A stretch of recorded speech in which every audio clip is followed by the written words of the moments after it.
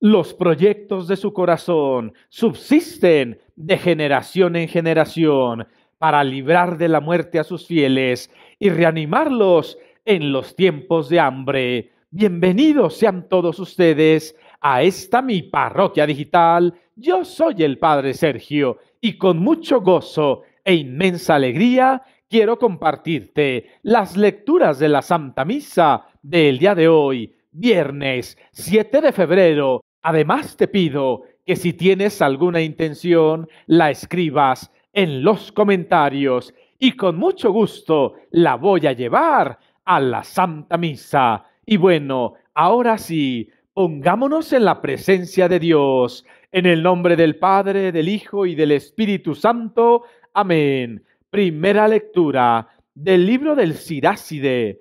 Como se aparta la grasa para los sacrificios, así fue escogido David entre los hijos de Israel.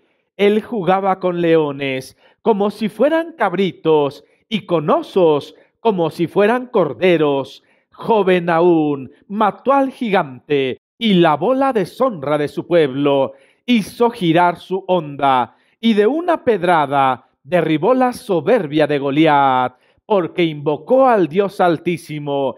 Él le dio fuerza a su brazo para aniquilar a aquel poderoso guerrero y restaurar el honor de su pueblo. Por eso celebrarán con canciones su victoria sobre diez mil enemigos y lo bendecían en nombre del Señor. Cuando era rey, peleó con todos sus enemigos y los derrotó aniquiló a los filisteos y quebrantó su poder para siempre. Por todos sus éxitos, daba gracias al Dios Altísimo y lo glorificaba. Amaba con todo el alma a su Creador y le entonaba canciones de alabanza. Instituyó salmistas para el servicio del altar. Con sus voces hicieron armoniosos los cantos celebró con esplendor las fiestas y organizó el ciclo de las solemnidades. El santuario resonaba desde el alba con alabanzas al nombre del Señor. El Señor le perdonó sus pecados y consolidó su poder para siempre. Le prometió una dinastía perpetua y le dio un trono glorioso en Israel. Por sus méritos le sucedió un hijo sabio que vivió en paz. Salomón fue rey en tiempos tranquilos, porque Dios pacificó sus fronteras, le construyó un templo al Señor y le dedicó un santuario eterno. Palabra de Dios, te alabamos, Señor. Al Salmo responsorial número 17. Vamos a responder todos juntos. Bendito sea Dios mi Salvador. Perfecto es el camino del Señor y firme sus promesas. Quien al Señor se acoge, en él haya defensa. Todos, bendito sea Dios, mi Salvador. Bendito sea Señor, que proteges, que tú, mi Salvador, seas bendecido. Te alabaré, Señor, ante los pueblos y elevaré mi voz agradecido. Todos, bendito sea Señor, mi Salvador. Aleluya, aleluya. Dichosos los que cumplen la palabra del Señor con un corazón bueno y sincero y perseveran hasta dar fruto. Aleluya, aleluya. Que el Señor esté con ustedes. Proclamación del Santo Evangelio según San Marcos.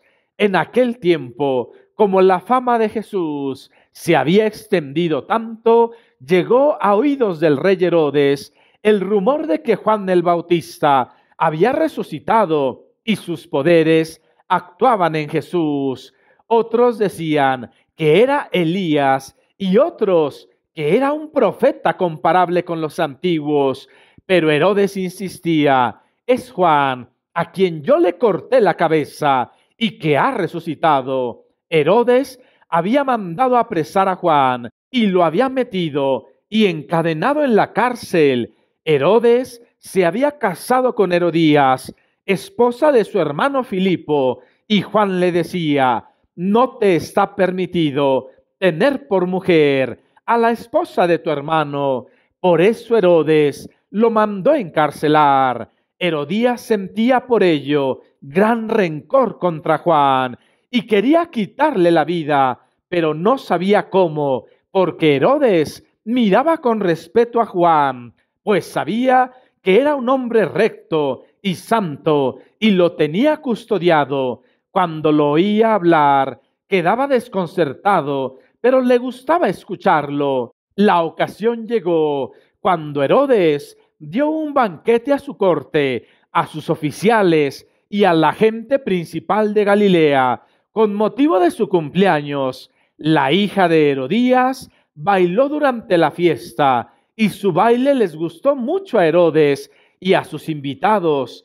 El rey le dijo entonces a la joven, pídeme lo que quieras y yo te lo daré. Y le juró varias veces, te daré lo que me pides aunque sea la mitad de mi reino.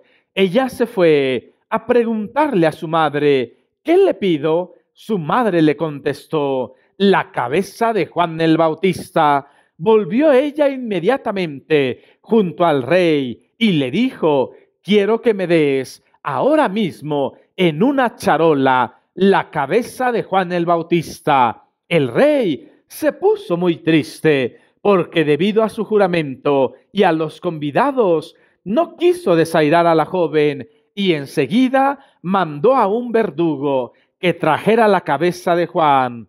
El verdugo fue, lo decapitó en la cárcel, trajo la cabeza en una charola, se la entregó a la joven y ella se la entregó a su madre. Al enterarse de esto, los discípulos de Juan fueron a recoger el cadáver y lo sepultaron.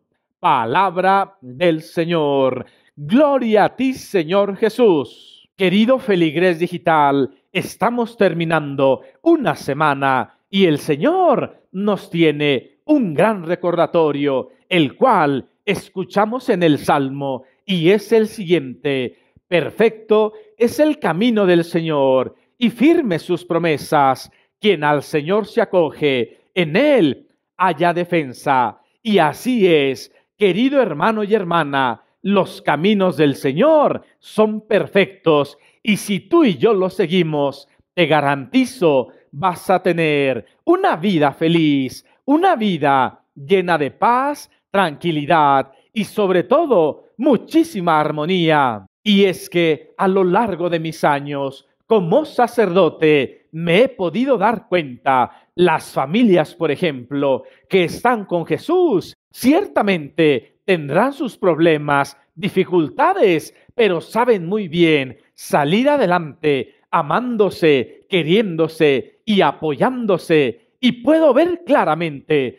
que las familias que no se acercan a Dios podrán tenerlo todo, pero les falta alguien, les falta Jesús, comienzan los problemas, las discusiones, los berrinches y enseguida el resultado son familias divididas y lo mismo pasa. Los jóvenes que están cerca de Dios se esfuerzan, luchan, siguen adelante y tienen vidas tranquilas y sobre todo muy exitosas. Mas, sin embargo, aquellos que no le temen al Señor, es muy fácil que caigan en los vicios, en los pecados, en las malas amistades y que su vida tome caminos inesperados, caminos muy malos.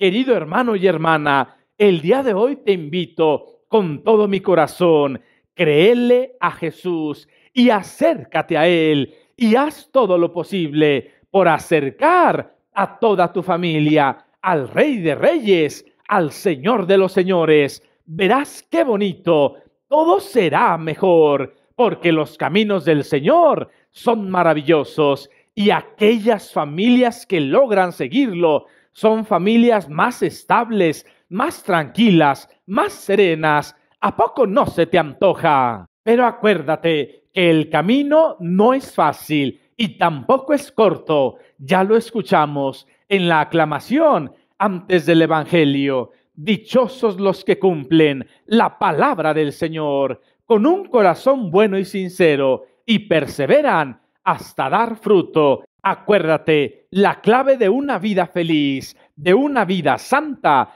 es la perseverancia, es que todos los días, pase lo que pase, estemos cerca del Señor, en las buenas y en las malas. Así es que el día de hoy te invito a que seas muy perseverante, mantente siempre cerca del Rey de Reyes y verás cosas maravillosas van a pasar, pero no te desanimes, porque hay muchas personas que durante un tiempo allí están en la iglesia, de día y de noche, hacen oración, pero después, ¿quién sabe qué les pasa? Que no perseveran y se alejan de Cristo Jesús. Así es que el día de hoy, querido hermanito y hermanita, mantente cerca de Jesús, sé perseverante y verás, vas a dar fruto, tu familia va a dar fruto y todo será mejor. Claro que sí. Y bueno, ahora permíteme darte la bendición. Que el Señor esté contigo. La bendición de Dios Todopoderoso, Padre, Hijo y Espíritu Santo, descienda y permanezca siempre contigo, con tu familia y en el mundo entero. Yo soy el Padre Sergio y esta es mi parroquia digital. Que el Señor te bendiga. Te mando un gran abrazo y sobre todo te mando la bendición de Dios nuestro Señor. No se te olvide, comparte este Evangelio, dale me gusta y por favor, reza tres Aves Marías por mí y por mi vocación. Que Dios te lo pague.